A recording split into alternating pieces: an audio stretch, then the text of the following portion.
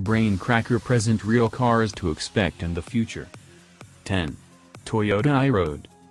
With only one seat and three wheels, the iRoad is a cool combination between a motorcycle and a car with an interesting steering mechanism that leans according to the road and speed. 9. Kia Pop. Kia presented this interesting electric car concept at the 2010 Paris Motor Show. The tiny car was powered by an electric engine that could travel almost 160 kilometers, 100 miles, per charge, which would be perfect for traveling around the town in the future. The Kia Pop was extremely lightweight and featured tree seats and a minimal cockpit. 8.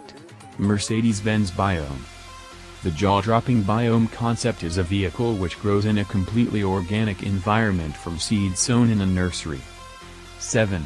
Toyota Nori Although the Toyota Nori is just a concept car that participated in the 2010 Design Challenge of the LA Auto Show, the project might prove viable to build due to the need for fewer materials than the usual car. 6. Terrafugia TFX This is actually one of the first attempts at building a flying car and it was developed by the small Terrafugia company in Woburn, Massachusetts. 5.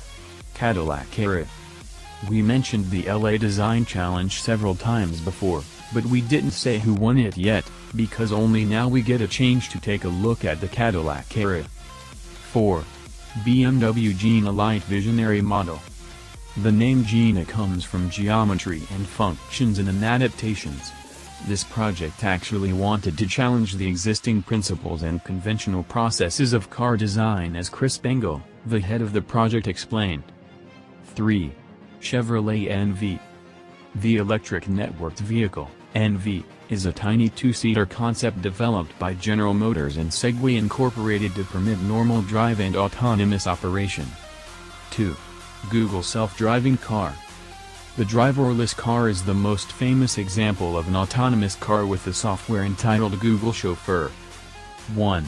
Mercedes-Benz F015 Luxury in Motion We consider this project to be the epitome of what the cars of tomorrow will look like especially due to the amount of innovations it offers. As Dr. Dieter Zetsche, the chairman of the board of management at Daimler AG and the head of Mercedes-Benz Cars said anyone who focuses solely on the technology has not yet grasped how autonomous driving will change our society.